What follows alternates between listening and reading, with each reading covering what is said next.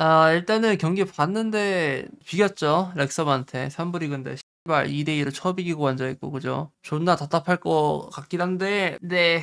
지금 이전 감독과 아예 철학이 완전히 다른 마레스카가 추구하는 전술을 입힌 지가 일수로 세어봤을 때 뭐 25일 실질적으로 얼만큼 본격적으로 세션을 진행을 시키고 가르칠 수 있었냐를 따져봤을 땐 제가 봤을 때 한 20일에서 10일 사이일 거거든요. 근데 그 안에서 나왔을 때는 당연히 이게 지금 워낙 난이도가 있는 전술이다 보니까 오류가 발생할 수밖에 없고 그 대형이나 그 기조, 지향점들은 대부분 당연스럽게도 마레스카가 추구하는 전술을 이행하려고 계속 행해 나가고 있는데 근데 이제 숙련도 이슈로 계속 이제 포지션이 미스도 나오고 좀 좀 그렇거든요. 특히 이제 후방에서의 3백 대형을 구성하는 3위 빌드업 시에 그 3백이 어떻게 수비 시퀀스를 이행해 나가야 되는지에 관한 숙련도도 미숙한 게 눈에 띄었고 특히 아침퐁이랑 7회 mezzala 자리에서는 추쿠에메카랑 은쿤쿠가 계속 이제 어그로 핑퐁 역할 볼을 받고 이제 한두 명 이상의 인원을 끌어당기고 동료에게 볼을 빼주는 그런 역할을 계속해서 해줘야 되는데 그거를 못 해줬기 때문에 이제 전반전이 많이 위태로웠던 걸로 보이고요. 그래서 일단은 뭐 지금 비긴 거 뭐 참사 날 수 있다 생각하고 지금 당장 태국 팀한테 4대1인가 도르트문트도 털렸었는데. 얘가 뭐 지금 오늘 경기 답답하고 솔직히 왜냐면 나 지금 돈 내고 봤거든요. 7천원 보고 봤기 때문에 개빡치고 막 욕하고 싶고 서버 관리도 엉망이었거든. 그러고 싶은데 솔직히 이거 가지고 막 뭐라 하는 거는 좀 아니라 생각하고. 근데 확실히 제가 전부터 콜윌은 이 전술에서 못하면 사람 새끼 아니고 못한다고 치면은 무조건 갖다 버려야 된다고 말을 했었는데 그 정도로 코릴이 이 전술에서 무조건 잘할 수밖에 없다라는 확신이 있었거든요. 근데 확실히 잘하긴 하네요, 코릴은. 라비아도 그간 뭐 의심을 해본 적은 없었는데 실력에 관해선 역시나 나왔을 때 제일 잘해주고 있고요. 포파나도 확실히 잘하긴 해. 얘네가 부상만 안 당했으면 참 좋을 것 같아요, 앞으로도. 중앙 센터백은 그냥 포파나가 제일 잘 어울리는 것 같고요. 토시는 오른쪽 센터백으로 빠지는 뎁스로 만약에 분류가 된다면 그 역할이 굉장히 좀 익숙해져야 될 텐데 그건 좀 아직까지는 더 봐야 될 것 같고 물론 3일 안에 얼마나 뭐 달라지겠거니 싶을 수 있겠다만 3일 뒤에 이제 있는 경기 셀틱전 그다음에 클럽 아메리카와의 경기도 봐야 되고 계속해서 지켜보면은 성장할 것 같다는 느낌도 들고 저는 이 팀이 초반에는 되게 잘할 것 같거든요. 초반에는 되게 잘하다가 나중에 후반기 때 무너지는 패턴이 나올 것 같은데 그 근거는 마레스카가 전술을 되게 잘 가르쳐요. 엄청 잘 가르쳐요. 이거는 굉장히 정평이 나 있는 평들이고 윙크스도 그렇고 뉴스버려도 그렇고 전술에 관해서 가르치는 능력이 워낙 탁월한 사람이라는 코멘트가 많이 나오기도 했고 실제로도 레스터가 전술 이해도나 전술 수행 능력이 굉장히 빠르게 도드라졌기 때문에 저는 시, 즌 초에 첼시는 딱히 걱정이 안 되고요. 오히려 이게 나중에 부상이나 높은 체력을 기반으로 하고 있는 지금의 축구로 인해서 snowball이 계속 굴러가다가 나중에 무너지는 그런 패턴이 좀 우려가 되기 때문에 오히려 후반에 경기력이 저하되고 성적이 저하되는 그런 걸 좀 우려하고 있지. 저는 전반기에는 되게 잘할 것 같아요. 전반기에는 리그 한 3, 4등까지도 찍을 수 있을 거라 생각하고 물론 지금 렉섬한테 비기는 꼬라지로 봤을 땐 이게 뭔 개소리인가 싶겠지만 앞으로 더 지켜보면 되겠죠. 저는 진짜 잘할 것 같아요. 현대 축구에 가장 잘 맞는 감독 중 하나를 잘 데려왔다 생각을 하고 그리고 귀스토나 리제가 지금 왜 이 역할을 보냐고 뭐라 하는 사람 많은데 귀스토, 리제 애초에 중간 미드필더에 굉장히 익숙해 있는 우플백들이란 말이죠. 그렇기 때문에 걔네이기 때문에 지금 이 역할을 볼 수 있는 거고 inverted 풀백처럼 들어오는 이 역할에 거부감을 느끼는 거는 아직은 이르다. 예, 뭐 몇 경기 굴려 보지도 않았고 얘네도 지금 아직 뭐 적응을 해보지도 못했는데 이거에 욕하기 좀 그렇고 그리고 리제는 보니까 이걸 왜 불만을 가지는 사람이 뭐 간혹가다 있는지도 모르겠는 게 진짜 전반전 존나 잘했거든요. 이거 이거보다 더 잘할 수가 없었어. 마레스카가 추구하는 전술 내에서의 볼란치 라인이 보여줘야 되는 역할을 정확하게 보여줬어요. 그리고 뭐뭐 쿠쿠렐라 복귀하면 아마 오늘 경기 콜윌이 나왔던 그 역할 그대로 쓸 것 같고 그리고 코릴을 저는 중앙 센터백의 뎁스로 두지 않는 이유가 수비에서의 안정도가 너무 불안해서라는 생각이 들어가지고. 그리고 기우는 잘한다는 생각은 진짜 안 들었는데 눈에는 되게 많이 띄었어. 엄청 발발발발 뛰댕기고 애가 뭐 진짜 뭐 진짜 생존의 길을 찍는 것 마냥 엄청 간절하게 뛰, 더라고요막 1군이라는 무대에서 살아남고 싶다라는 그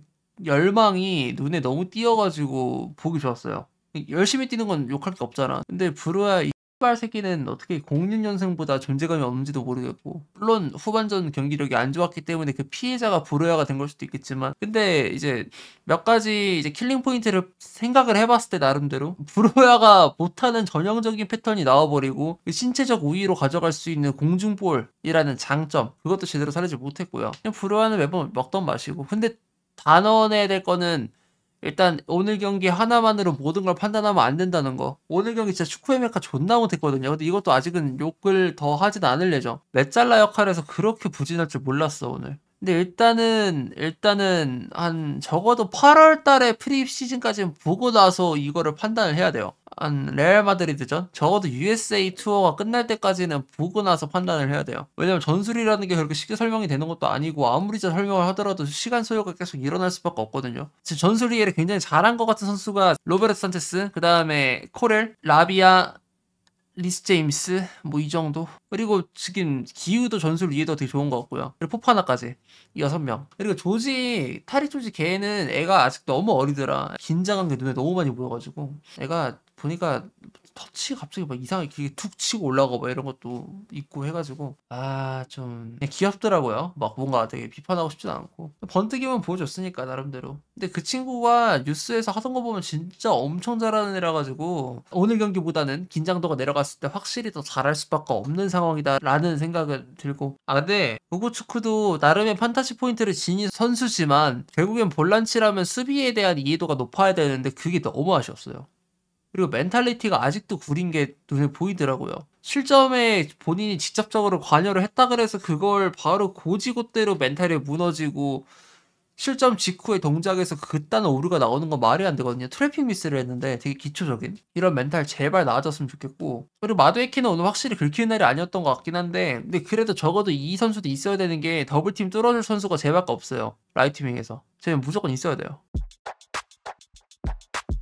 아, 그리고 오늘 나오는 현상 중에 전체적으로는 전방 라인에서 상대의 수비 간격을 넓혀주지 못했기 때문에 계속 중앙에 고립되는 현상이 연속적으로 발생을 했다 생각을 해요.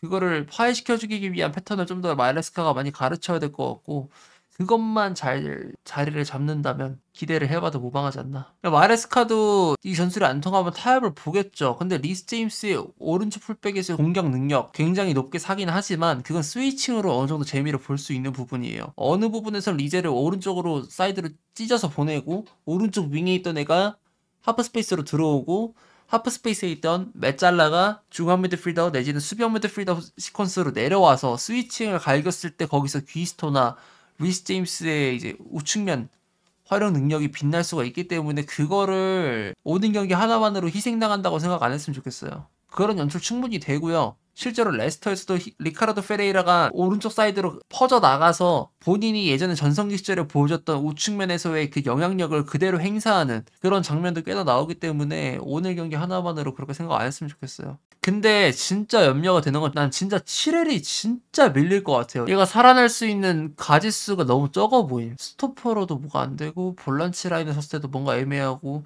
얘 하나를 위해서 얘가 그 포지션을 못 본다는 이유 그 단지 하나만으로 윙백 positioning을 새로 하나 뚫어주고 다른 positioning을 다 바꿔서 균형을 무너뜨린다? 그러니까 때로는 그렇게 쓸 수는 있겠죠. 칠웰을 왼쪽 사이드로 찢어서 쓸 수는 있겠지.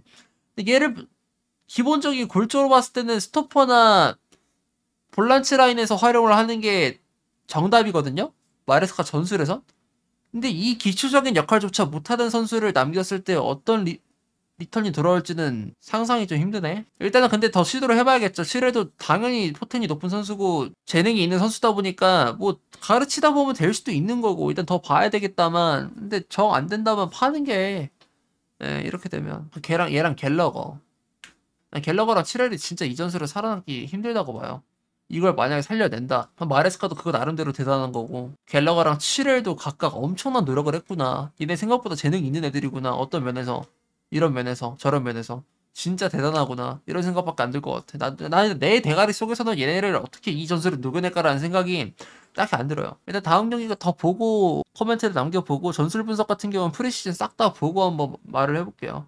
네. 미리 생각해둔 그 구조 자체는 있는데 일단 그거를 그냥 한 번에 정리해서 올리는 게 나을 것 같아. 전술 영상을 굳이 두 번에 끊어서 올리는 것보다 프리시즌을 보고 한 번에 딱 끊어서 올리는 게 제일 깔끔할 것 같아서 일단 그렇게 해볼게요. 일단 최종적으로 남기고 싶은 말은 오늘 졌다고 너무 슬퍼하지 말고 족같아 하지도 말고 욕하지도 말고 일단 기다립시다. 프레시는 참사가 나라고 있는 그걸 통해서 데이터로 치환을 시키는 그런 기간이기 때문에 딱히 뭐 기분 나빠할 필요 없습니다.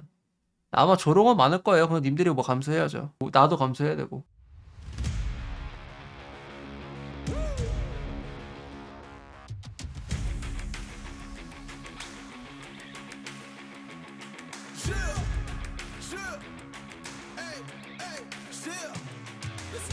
I was born to kill it. I was meant to win. I am down and willing, so I will find a way.